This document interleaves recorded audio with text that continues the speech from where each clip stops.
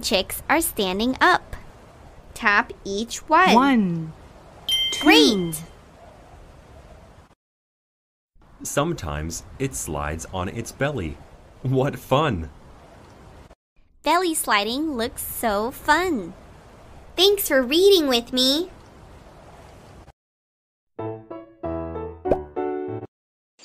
Today, we're going to read about hedgehogs. Hedgehog starts with the letter H. The letter H makes the sound.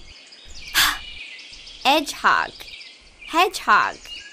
Can you say Woohoo! I can't wait to learn about hedgehogs. Let's